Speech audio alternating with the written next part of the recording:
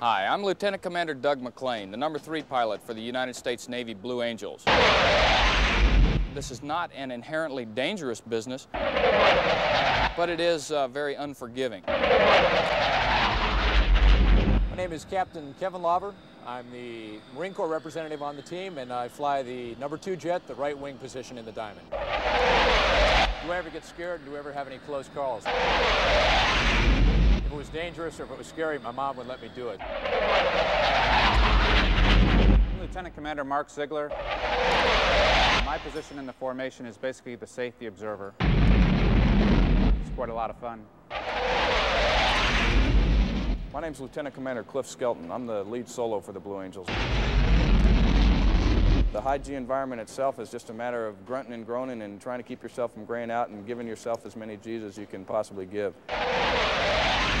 I'm Commander Pat Moneymaker, squadron flight leader and squadron commanding officer of the Blue Angels. My name is Lieutenant Bruce Dillard. I am Blue Angel number 8, the events coordinator. Blue Angels represents a time-honored uh, tradition of uh, pride, professionalism, and excellence.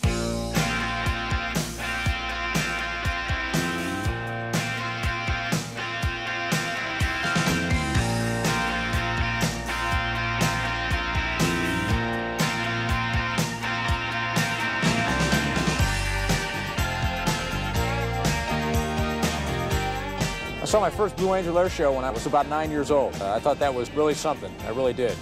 And of course, after I uh, got into the Marine Corps and started flying jets, I wondered if I might have an opportunity to, uh, to join the team.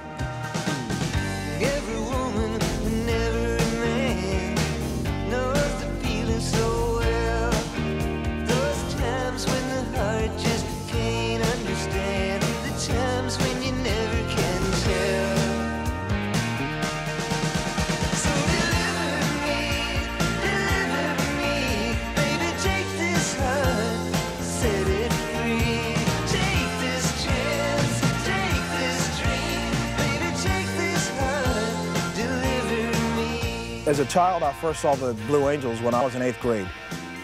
And uh, when I saw that blue jet go over my head with two balls of fire coming out of the back, uh, that pretty much set the score for me.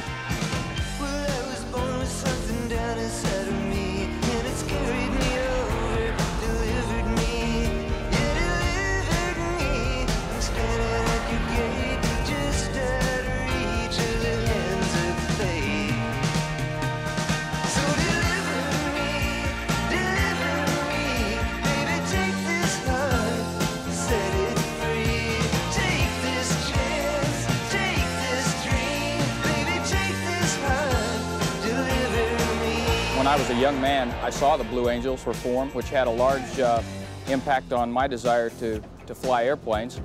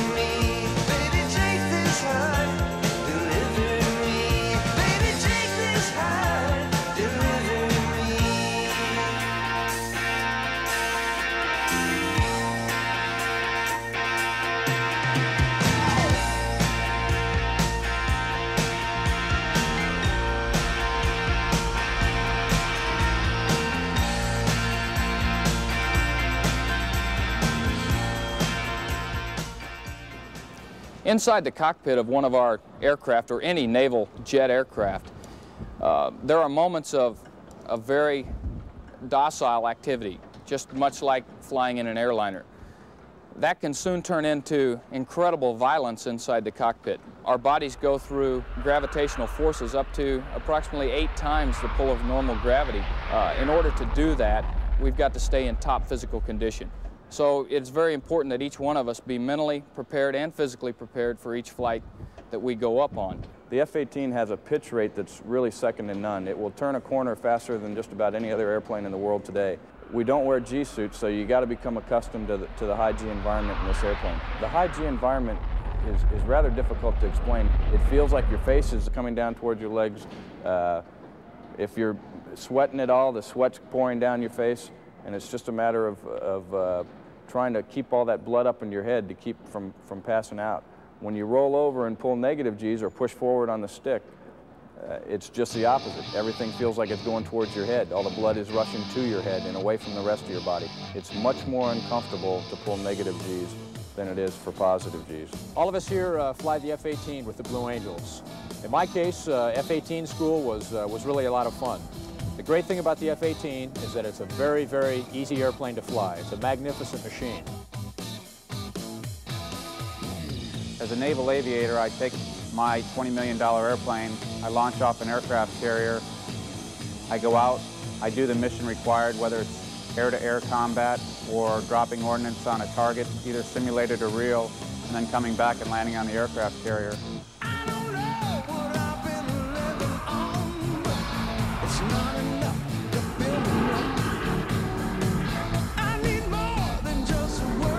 Say. I need everything this life can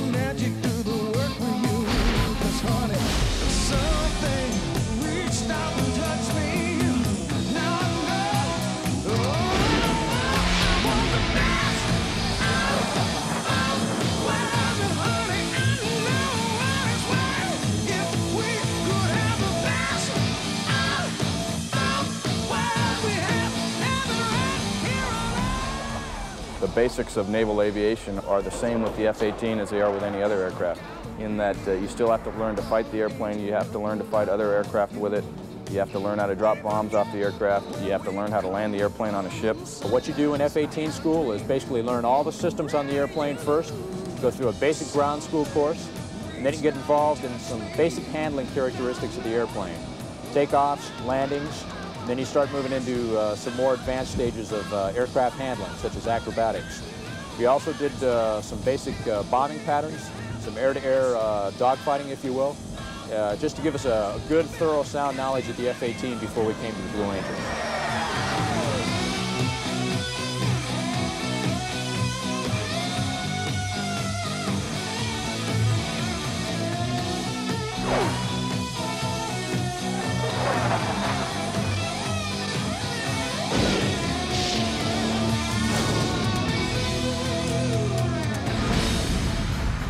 Heads-up display is probably the best part about this airplane. Everything you need to know about delivering the ordnance, your airspeed, your altitude, your flight path angle is all right there in front of you. You never have to look inside the cockpit.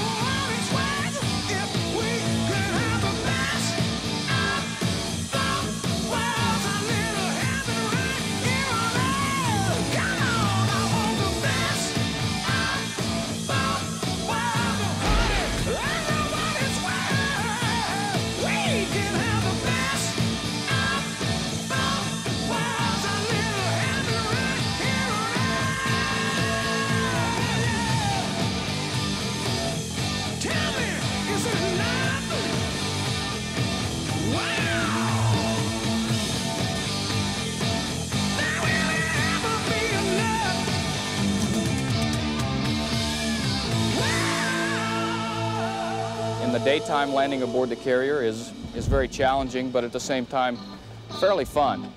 In the evening, though, when the sun goes down and, and things get black, it turns to all work. Uh, I've never done anything as hard as land on a carrier at night. I have approximately 120 night carrier arrested landings, and uh, each one of them are memorable. I've never been scared flying a Blue Angel aircraft because it's, it's, a, it's the type of environment where you do the same thing every day, day in and day out, and you have control over your surroundings. You have control over your aircraft and what you do with it. You don't always have control over an aircraft carrier and the environmental surroundings.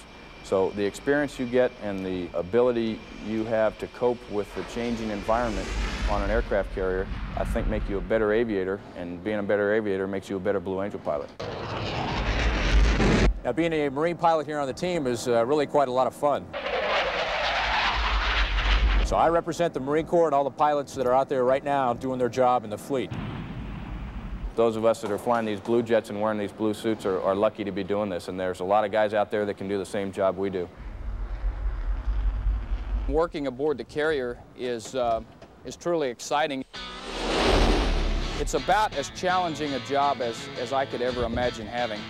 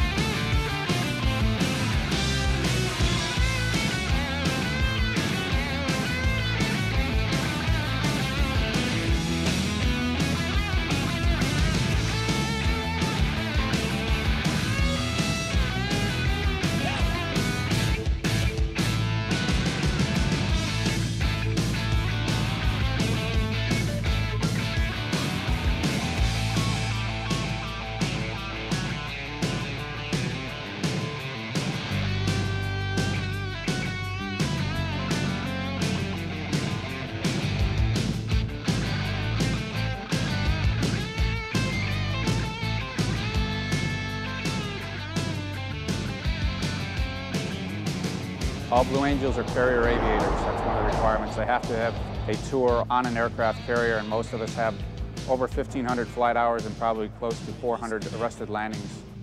Baby, I got my finger right on your pulse, just like a drum. I need a little bit of Coca-Cola.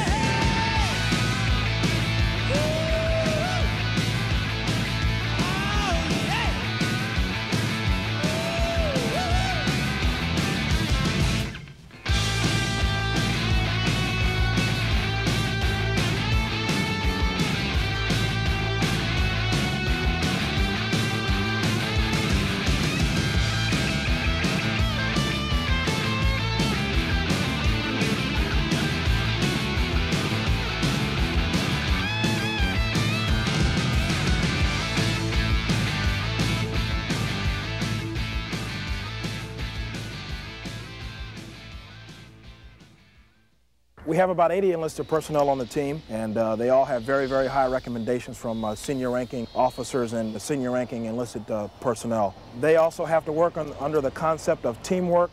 Uh, they have to be able to get together and work together with the people in their shops. Uh, those guys work very, very hard. Uh, they work 12, 13, 14 hours a day, and they come right back and do it again. And they are by far the very best in the Navy.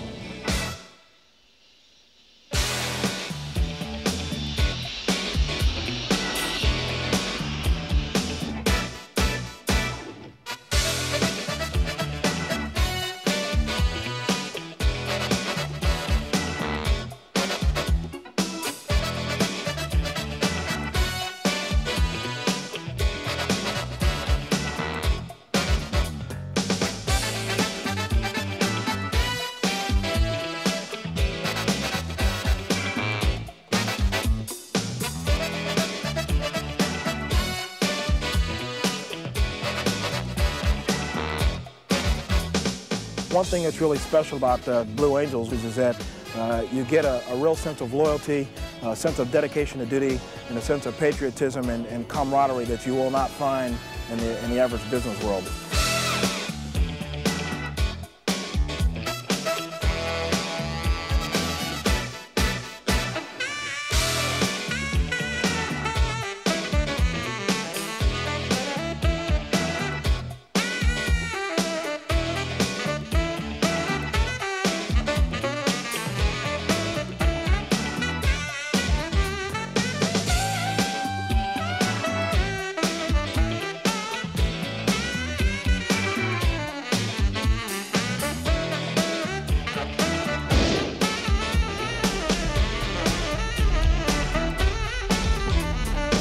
Becoming a Blue Angel was the highlight of my career. We have a lot of good people, men and women, in this squadron, and it's just a great honor to work with these pilots and the men and women of Blue Angels. Slammin'.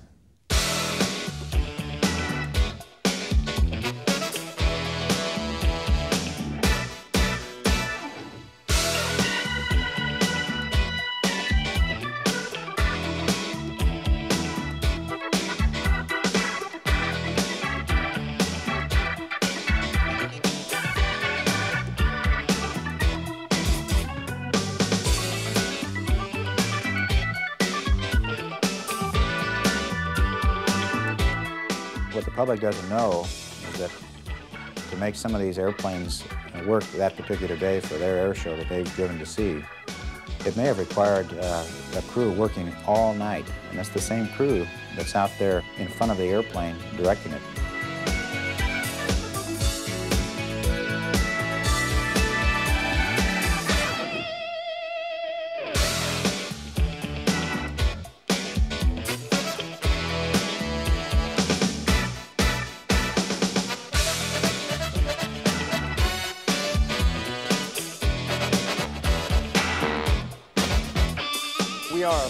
Demonstration squadron, but we are a uh, flight demonstration team first and foremost.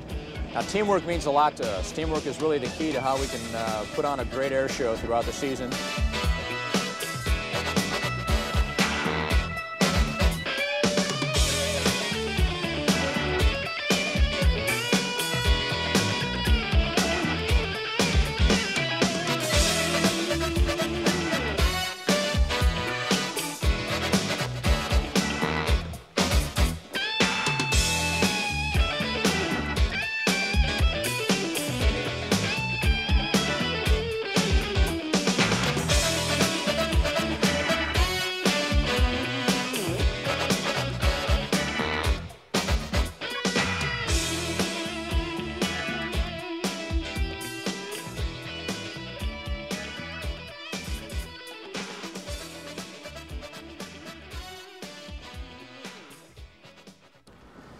In preparation for an air show, it's important that, that your concentration is 110% toward the job at hand. When you walk out to an air show and you see uh, two, three, four hundred thousand people waiting out there to watch you fly, and you realize you're the you're a basic standard naval aviator. You just happen to be lucky enough to fly a, to be flying a blue jet and wearing a blue flight suit. You realize that uh, these people think you're something special. Our air show takes about the exact same concentration required to land on the carrier, except the carrier approach only lasts about uh, 30 to 60 seconds, and the air show lasts 45 minutes. We can't get uh, too distracted by outside influences. It's very important that we maintain a positive mental attitude as we climb into our airplanes. Once you get into the cockpit, though, once you have shut the canopy, once you turn the engines on, and once you start taxiing, it all goes away. You don't even know there's one person on the ground. Every maneuver that we do has its own safety valves in case something does go wrong, if I should lose my radio or have an aircraft mechanical problem. Everybody in the formation has a piece of sky that they can go to. And that's throughout the entire maneuver. And there are voice procedures that allow us, with, with very few words, to get a lot of meaning out. We're on the runway. Do a wind check. Maneuver the diamond burner loop to the left turnout. Let's run them up. Off brakes now. Burners ready now.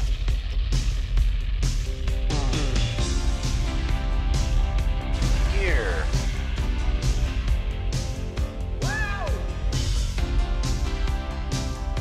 Smoke on. Up we go.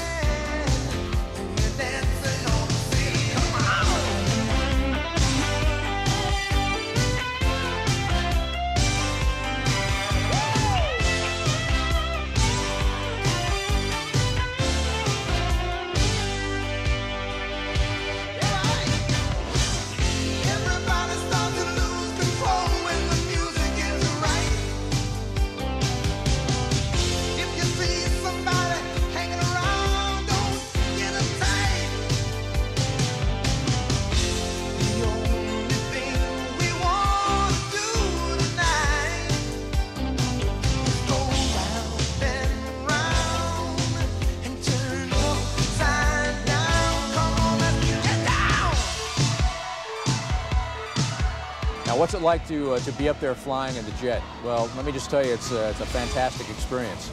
I wish I could take you along, put you in the cockpit with me so you could see what it's like.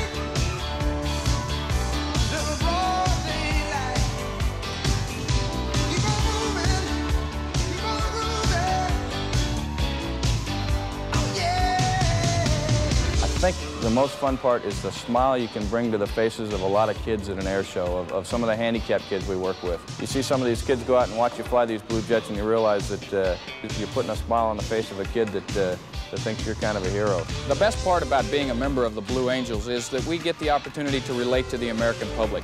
We go ahead and, uh, and recruit for the Navy and the Marine Corps, but at the same time, we're also promoting a positive image and trying to produce a role model for our young people today.